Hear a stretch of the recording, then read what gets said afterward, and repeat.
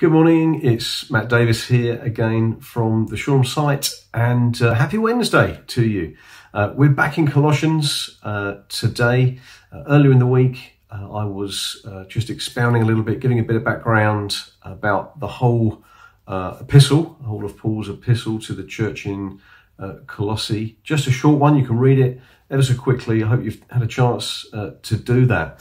And um, today there is uh, an opportunity just to dip into chapter three, the first chunk of chapter three in this letter.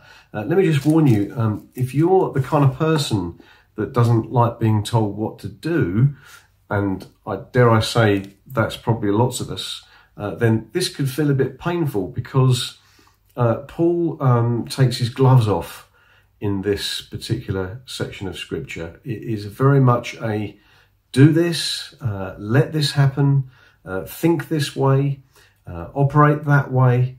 Uh, don't do that, but please um, do this uh, for the sake of the gospel and for the sake of your own spiritual health. It is very much a case of telling us as believers how to operate, how to live, and how to relate to others in the church and outside of the church. It's titled Put on the New Self, and um, we'll, we'll, jump into it in a little second or two. But uh, this is Paul at his best, uh, speaking with great authority uh, in only the way that he knows how, uh, teaching a church uh, to, to lay solid foundations. This is the work of the apostle.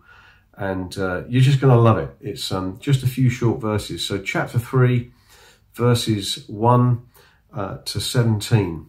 And he starts off uh, with uh, something of a, a presupposition. It's, I guess it's a question and a presupposition. He says, Look, if then you've been raised with Christ, and of course, all the readers are thinking, Well, yes, that's us, that's us. Then he says, This is what you do you seek the things that are above where, where Christ is, seated at the right hand of God. Uh, here we go. First imperative set your minds on things that are above, not on things that are on earth.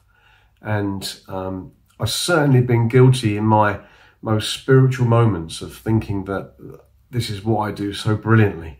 I, I set my mind on spiritual things, and uh, and that's where I find uh, my peace with God, my influence, uh, my security, uh, and I'm, I'm kidding myself because I'm not very good at setting my mind on the things that are above. But Paul says this you've died, and your life is now hidden with Christ in God. Which um, you have to think for a second. Hang on, there's there's a reality there that I'm not quite sure that I've grasped.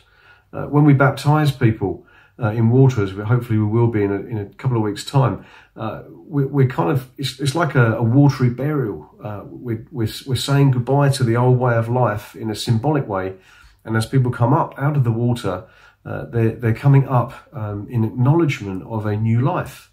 Uh, not that they've uh, become Christians in that moment, but it's, it's a symbolic way of showing um, the watcher, those that are observing a baptism that actually what's happened is really significant. There's been a death, but there is new life.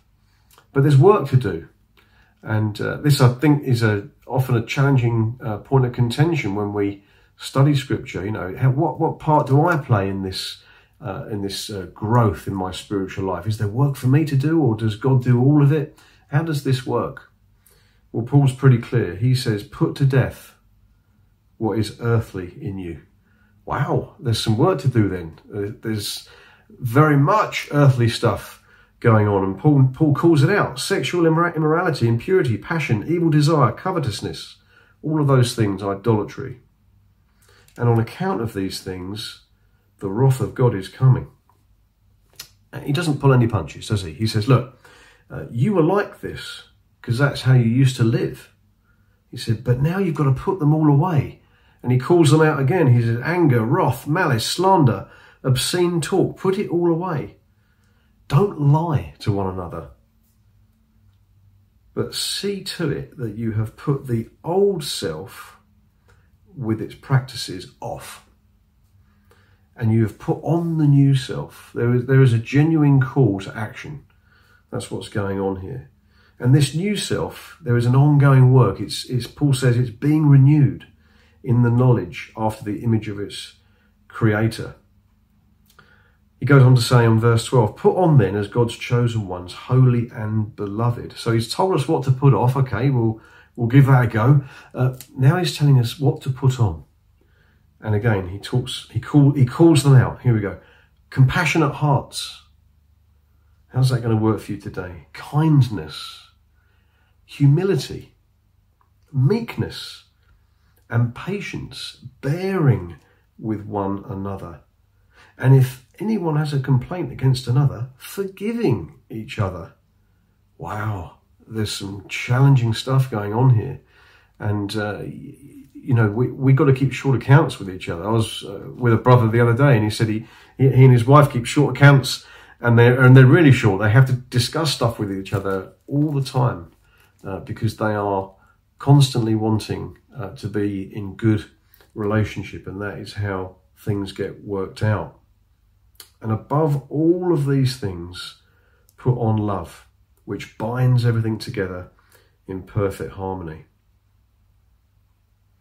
Let the let the word of Christ dwell in you richly. That's why you're listening to this devotion, right? Because you want uh, these devotions, this this book, uh, to feed you, to uh, to sit in you, so that you can draw from it. Hopefully, you'll remember some of this as your day goes on, and that's that's what it means to allow the Word of God to to dwell in your hearts richly, so that you can draw from it, uh, so that you can be strengthened from it. And it says, when we're together sing psalms and hymns and spiritual songs, even through a face mask, you can do that with thankfulness in your hearts to God. And whatever you do in word or deed, do it every, do everything in the name of the Lord Jesus, giving thanks to God the Father through him. That's kind of us done this morning. That's short and sweet, but massively powerful so there's a whole bunch of things to put off. Paul's really clear about those. And then there's a bunch of things to put on. How are we going to get on with that today?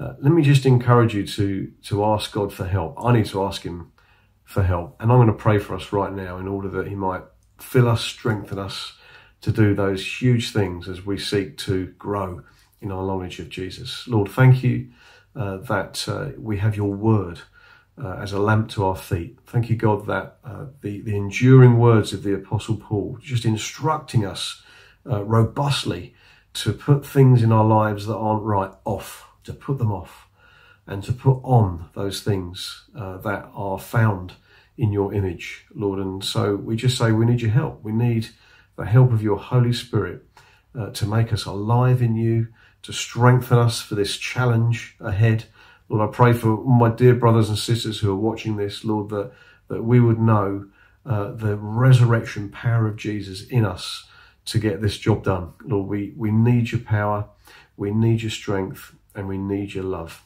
Amen. Have a super day.